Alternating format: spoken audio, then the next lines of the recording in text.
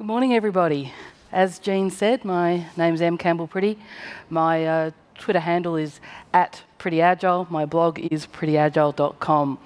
Um, I think, in fact, I'm pretty sure I'm the least technical person at this conference. That could be because I've never worked in IT.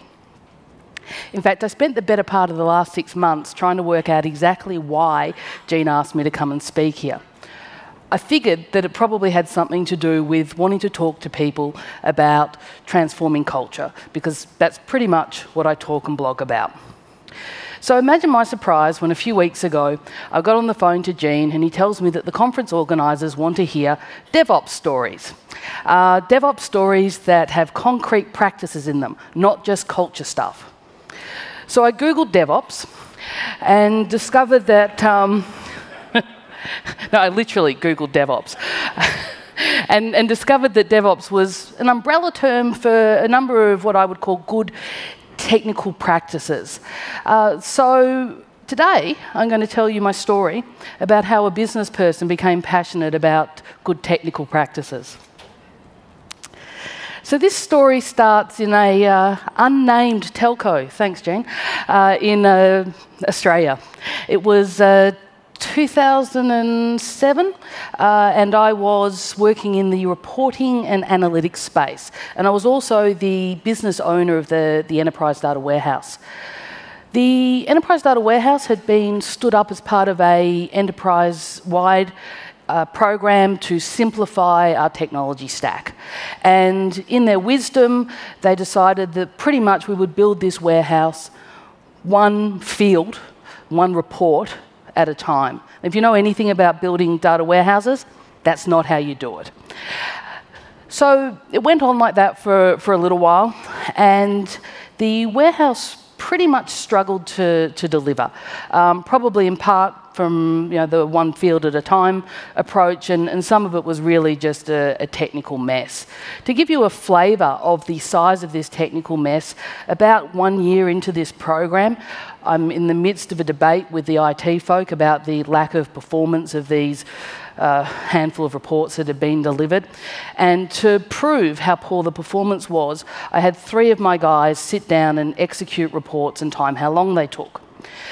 The next day, when I turn up at this meeting to, to prove my point, I was told that having three people simultaneously running reports on what was a huge Teradata data warehouse was abusing the system. so it really wasn't going very well.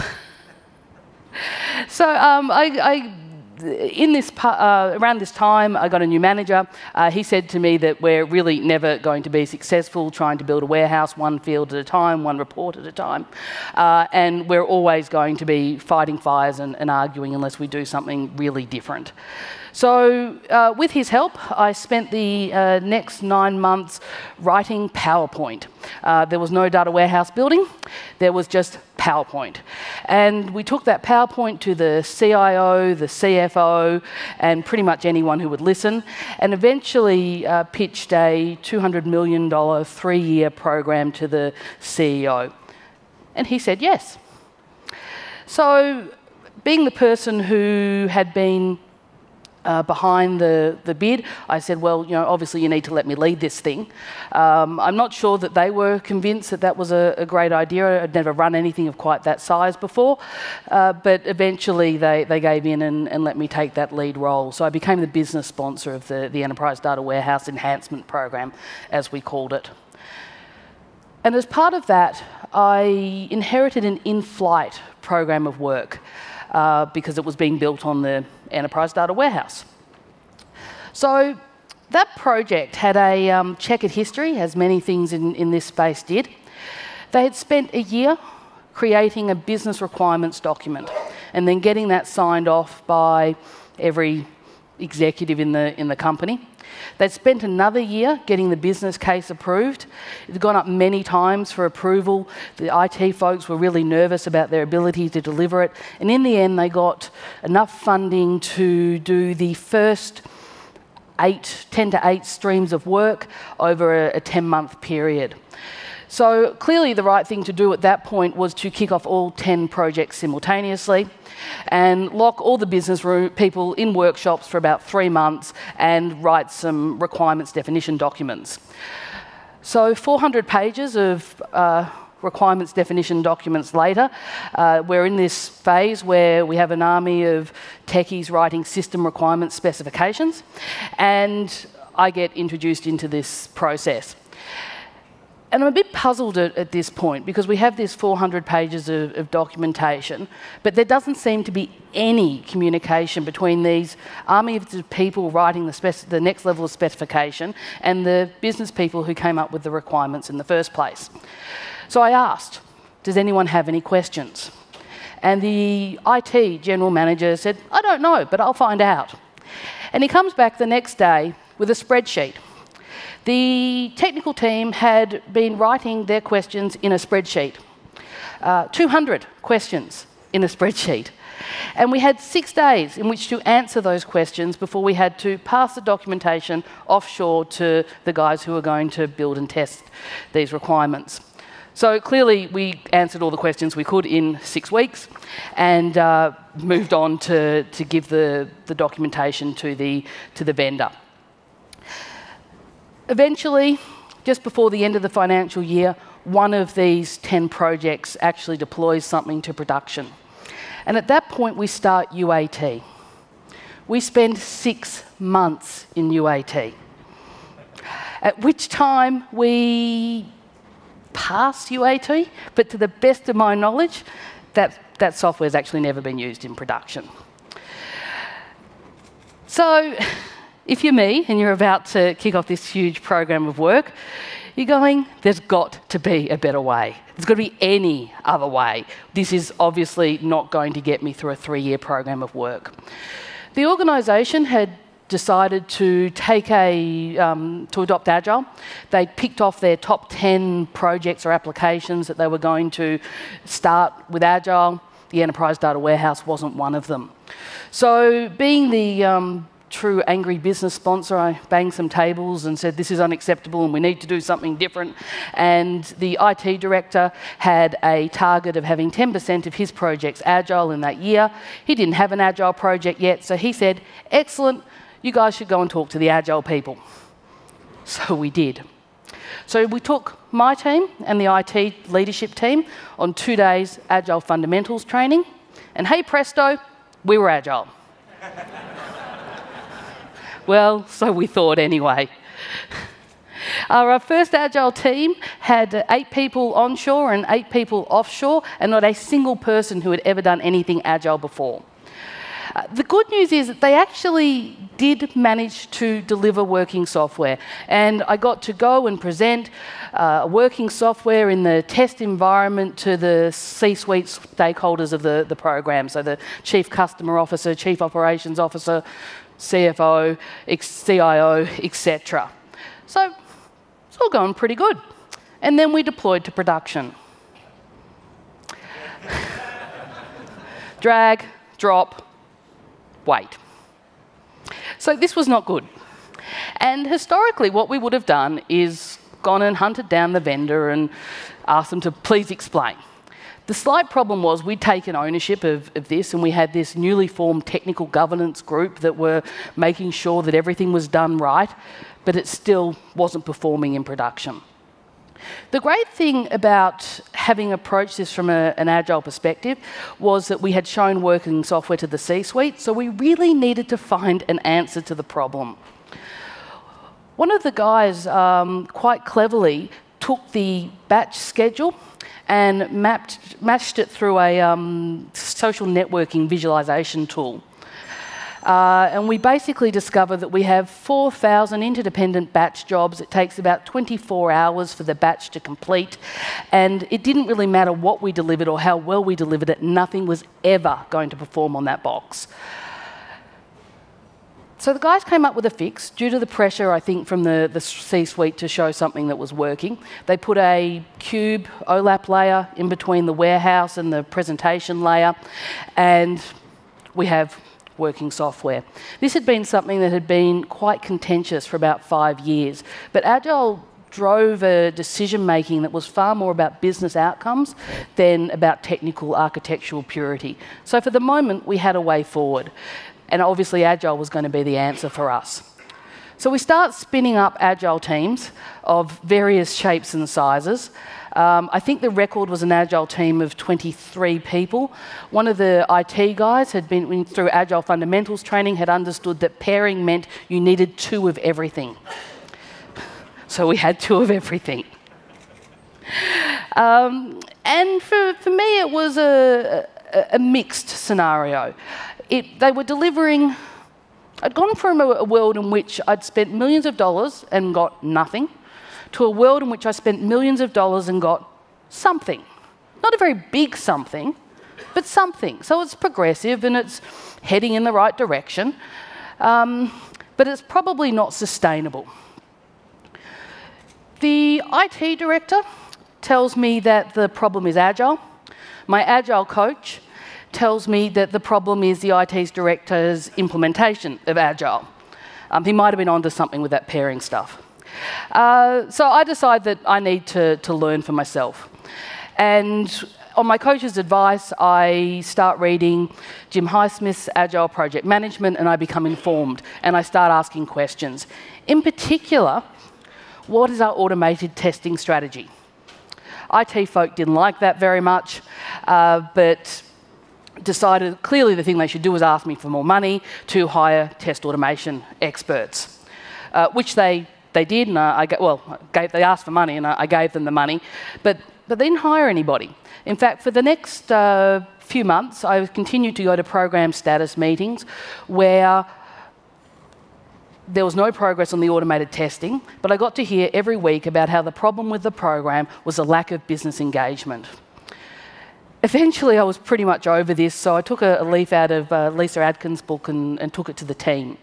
We ran a program wide retrospective uh, using techniques from um, Esther Derby's and Diana Larsen's Agile Retros Retrospectives books. We asked the teams to reflect over the last couple of months leading up to their last release what had gone wrong, what had gone right, and what were the things that the program needed to help them solve if they were going to be successful.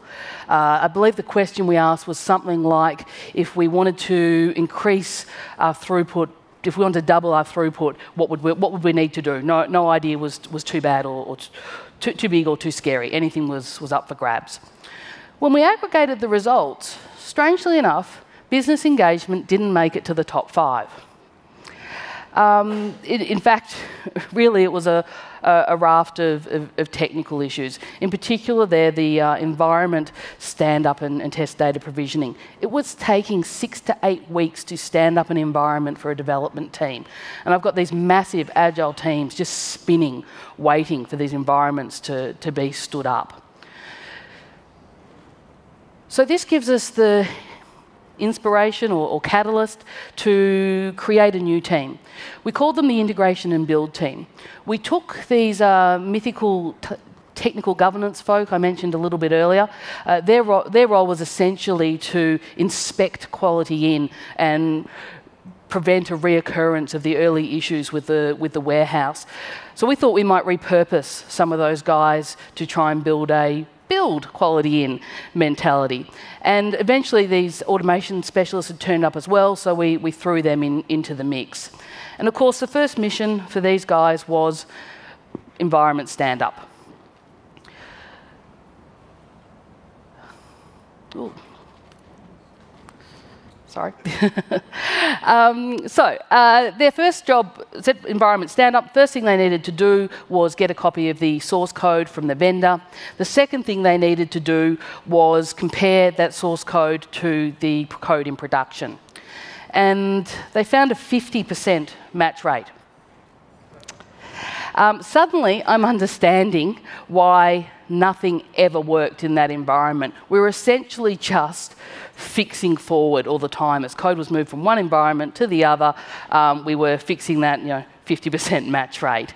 Uh, so first thing the, the guys actually ended up doing was reverse engineering the code base, which uh, took quite some time.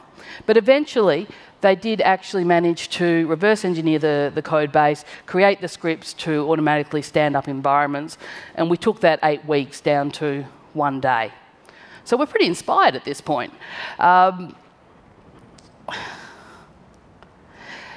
there's also a changing of the guard that occurs then. The organisation collapses the IT and, business components of the data warehousing and, business intelligence group into one organisation. They create a new role, which is as the uh, general manager of enterprise data warehouse strategic delivery, and they run a national search looking for, for somebody to take on this role. They can't find anybody. I have a theory that the reputation of the warehouse was so well known in the local job market that there was nobody willing to take that job on. So they come to me and say, Em, you seem to um, be really passionate about this enterprise data, data, warehouse stuff, and you seem to be really passionate about this agile stuff. Why don't you do it? So I don't think I'm qualified, guys. I'm, you know, I'm a business person. It'll be fine. We'll give you all the support, anything you need, it'll be great. I have not seen those people since.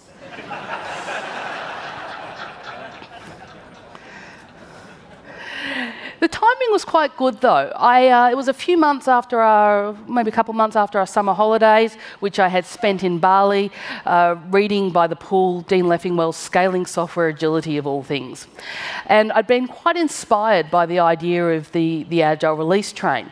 And then someone handed me an IT delivery team. So here was my opportunity. We would take those disparate, weird shaped teams and create one program, one team, one organisation, one way of doing things, and, and the Agile release train.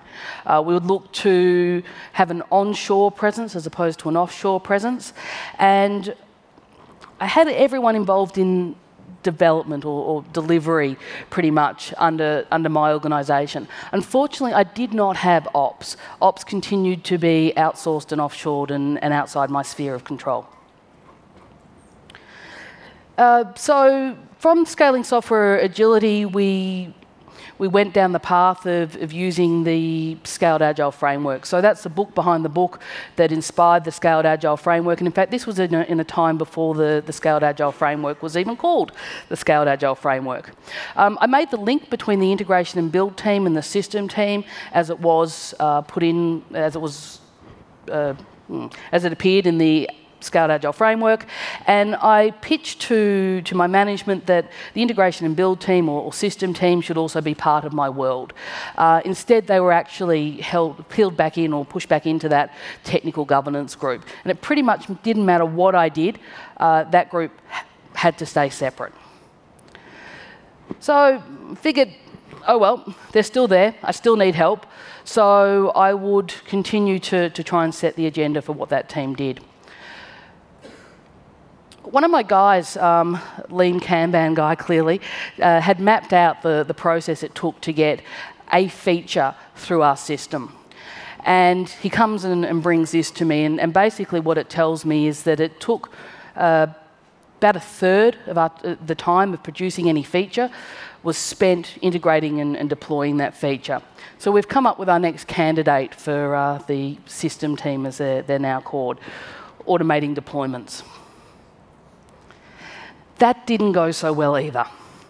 Uh, the again, the system team worked agile and they were doing their, you know, fortnightly or two weeks because you guys don't have fortnightly, uh, two two weeks uh, demonstrations of, of working software, and you know, everyone was supposed to be on board, but when they tried to get people to use this, the, the devs did not feel at all engaged, uh, wouldn't use it. We, we tried to send people from the system team to spend time with the uh, developers to, to help them, didn't work. We tried PowerPoint, didn't work pretty much nothing worked. Not at all helped by the fact the code was pretty buggy. So in one instance, a, a team spent four hours trying to add a comment to a script and ended, ended up deploying it manually.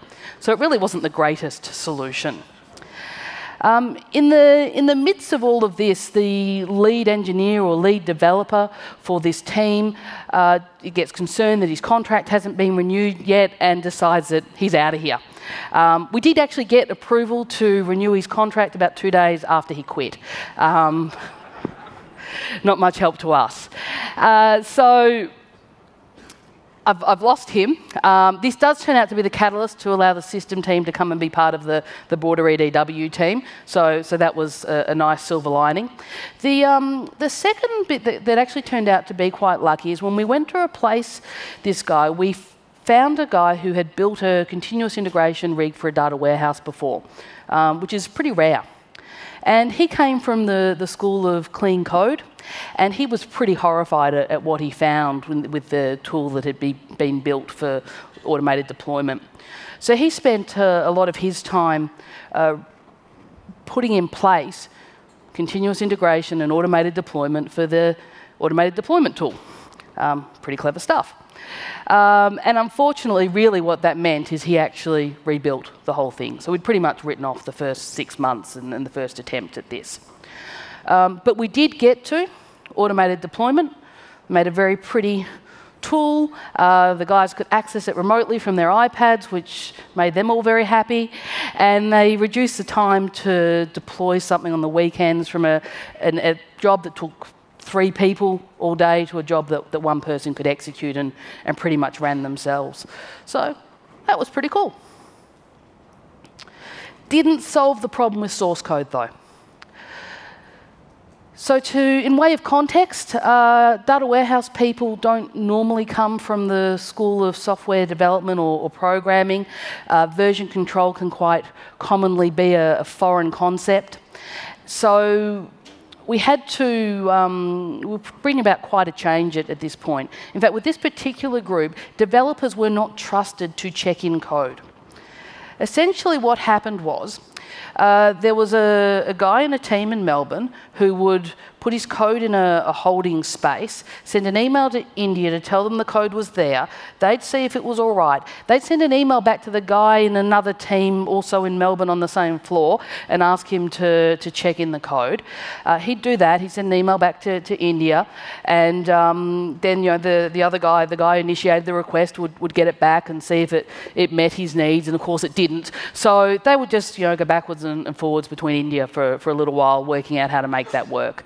Um, so it's quite a significant change. We're trying to go from a, a, world in which you're not allowed to check in code to a world in which we want you to check in code very, very frequently. And at this point, I, I it occurs to me that business change management is, is not something we see a lot in, in IT organisations. I'm not suggesting that you need to go out and hire business change management specialists, uh, but it does help to think about how you're going to implement change. So the, the reference we used was Switch, how to change things when things are hard. Um, I could spend all day talking about this. I'm not going to. It's about 200 pages, very easy to, to read. Could be called Change Management for, for Dummies and, and certainly helped us um, move through that change. So the team start talking about how they're going to make this change happen. This is what they call their Gene to Baker meetings uh, because they met Gene once and she does meetings without PowerPoint, so they became all inspired and started running meetings without PowerPoint. And that was to work out how we were going to make this change.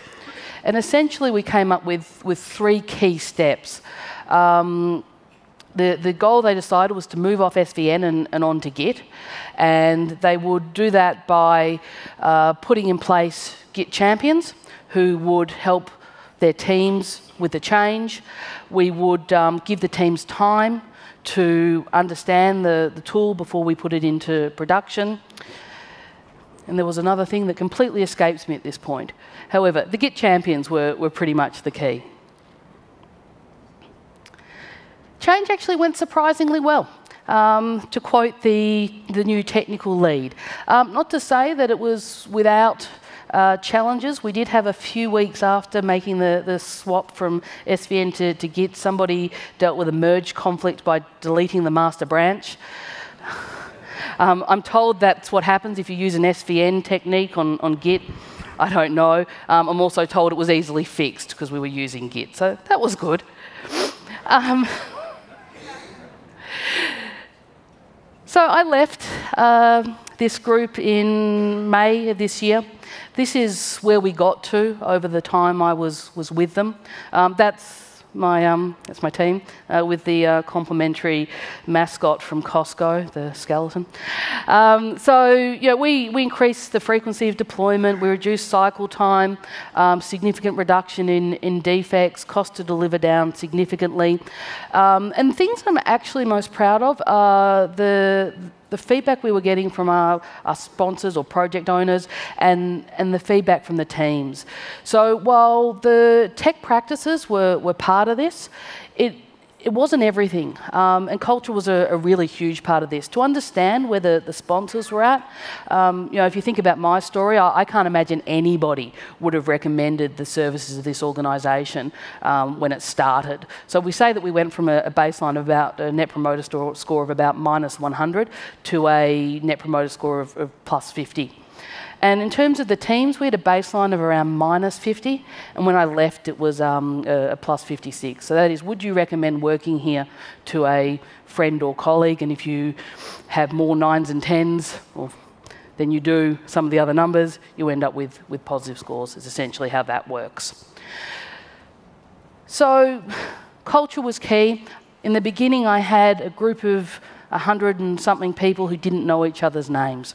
And we spent a lot of time taking that group of 100 people and turning them into agile teams and then the, the team of teams that became the, the train.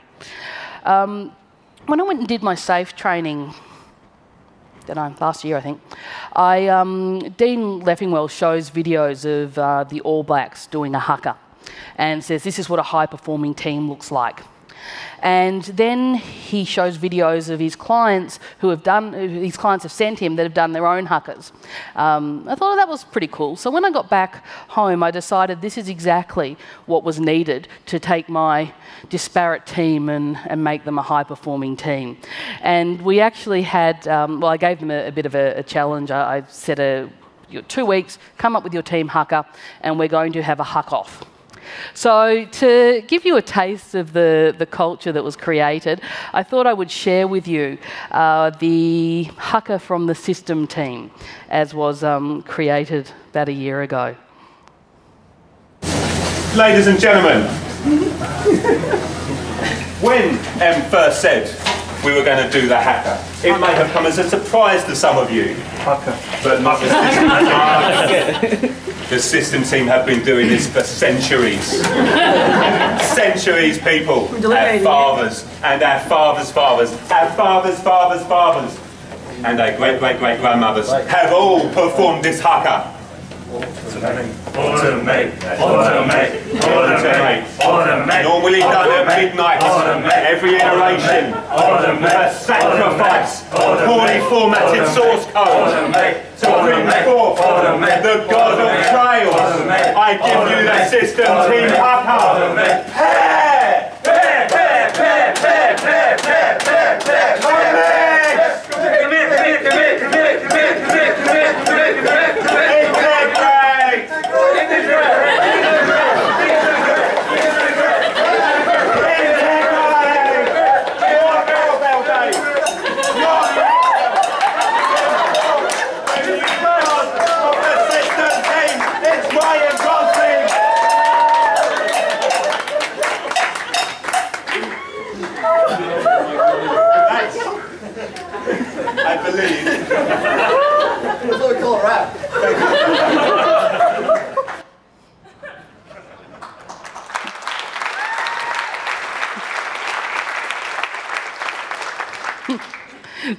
clarify, this is not a, a group of, of, wacky Australians. Um, the, the, main speaker there was a, a guy from, from Essex. Um, we had people from all over the world and people from all sorts of different um, uh, consultancies. So that group was actually, I think, yeah, all but one was actually a contractor or a consultant um, from um, all sorts of, of large, well-known consultancies. Um, so this isn't a special Australian thing. Uh, these were real people from all over the world. so, as I said, I've uh, left this group and I'm now out coaching around the world. And um, I now have a real problem. Does anybody have the foggiest idea how to do this stuff with PeopleSoft? If so, please come and find me and tell me. and on that note, um, that's my story. Thank you, everyone.